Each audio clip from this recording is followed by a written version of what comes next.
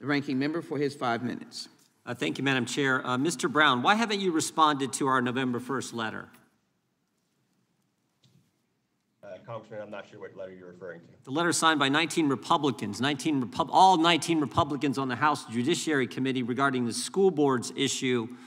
Why haven't you responded to that? Um, I believe uh, Congressman, the department provided a response, but, um, you know, as I said earlier, we, we did follow the AG's memorandum to convene such a The meeting. department did not Uh, provide a response. I'm just, the, the letter's addressed to the Honorable Nicholas W. Brown, U.S. Attorney, Western District of Washington, 700 Stewart Street, Suite 5220, Seattle, Washington, 98101. Is that your address? That is the office of the U.S. Attorney's Office. Yeah, and the Department of Justice acknowledged receipt of that letter. I'm just wondering, do you make a habit of not responding to members of Congress, and not just any members of Congress? These are 19 Republicans from the House Judiciary Committee. Do you make a habit of not responding to people who inquire about a pretty darn important subject, the school board uh, memo issue? We try to be responsive to all of our community members and anyone who has questions about the decisions and operations that we. Well, that sort of begs the question then. Back to why haven't you responded then? If you try to make an effort to respond, why haven't you? Someone tell you not to respond? No, someone did not tell me not to respond. I understood that the department was going to provide a response, and I'm happy to have further conversation. Attorney General didn't tell you? The, the DAG didn't tell you not to respond? No, Congressman, they, no one directed me not to respond to that.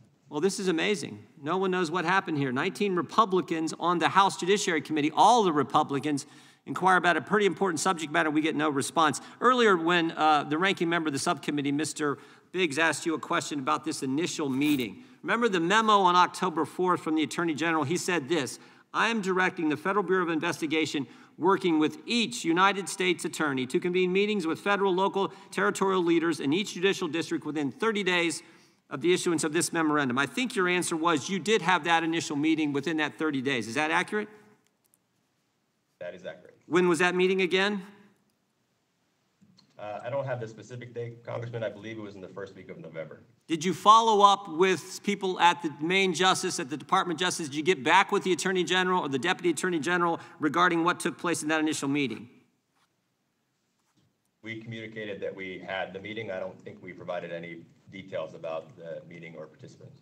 Have you had any subsequent meetings since that initial meeting in early November?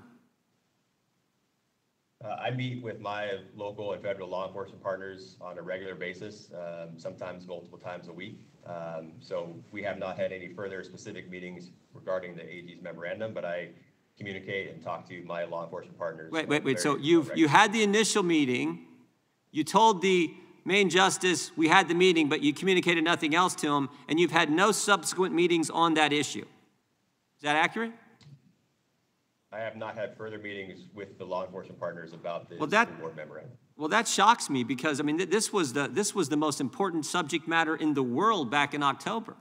The National School Board Association writes a letter to the Biden administration on September 29th, and literally five days later, we get a memo from the Attorney General directing you to have this meeting as if this was the most important subject matter on the planet.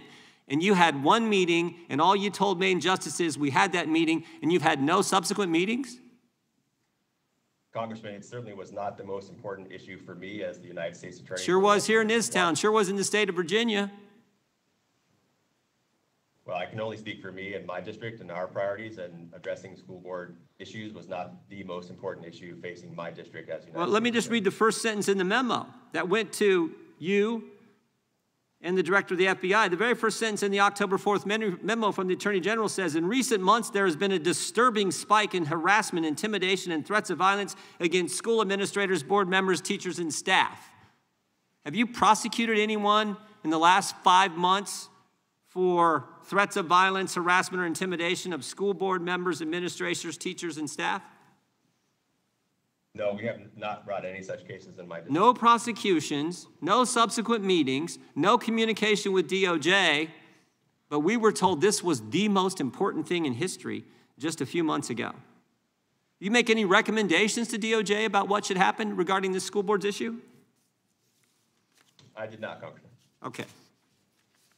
Um, any, any people in, any uh, individuals you know have a threat tag associated with their name? We got this this email communication that went out to FBI um, agents around the country. And it says, as, as a result of the Attorney General's memo, the Counterterrorism Division and Criminal Divisions created a threat tag to track instances of uh, threats. Any, do you know about any threat tags put on parents or any individuals in your dis, the Western District of Washington State? I'm not aware of any such tags. Gentleman's time has expired. Thank you, Madam Chair. I yield back.